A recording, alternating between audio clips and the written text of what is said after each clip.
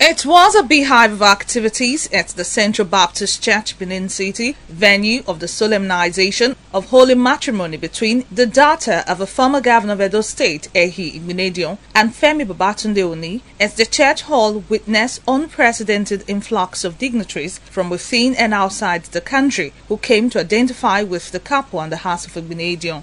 The car park at the church premises couldn't contain the number of exotic brand of vehicles as some were parked on major roads. The church auditorium was beautifully decorated, while guests, especially women with their beautiful attires and different color of headgear, added spice to the ceremony. Hawkers of various items had a field day, making brisk business at the church premises. The bride's parents are two-time governor of Edo State, Chief Lucky Nosakhare Igbinedion, and his wife, Eki Igbinedion. The bride's grandfather, the Isamara Benin, Sir Chief Dr. Gabriel Osawa Igbinedion, his wife, Lady Cherry Igbinedion, were forthcoming with word of advice for the newlywed. I wish them the very best in happiness, good health, prosperity, and always abiding by God's principle of uh, a good Christian family. I wish them the very best. I wish them God's blessings, long life, good health, a prayerful life together, a wonderful life as a couple should be. I thank God for, for God Almighty, that for the wonderful day, to all the glory of God. And I thank God for their life. And I wish them, I wish them well.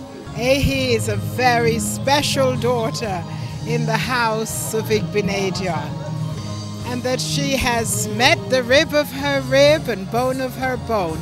It is the doing of the Lord. I can only commit them in the hands of God for a successful marriage. Some dignitaries present also advised the couple to live in love and have the fear of God. I wish them a very beautiful married life, happy, prosperous, and plenty of joy. On behalf of myself and my family, I wish them a very blissful marriage life. I see a projection of about four kids, three boys and a girl.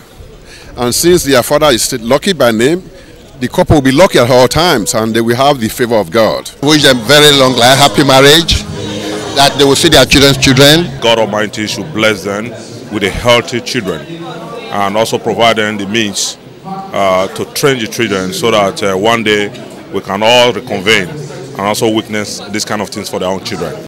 Security at the church premises was tight as security men were strategically placed to enforce law and order. Sharon Ajay reporting.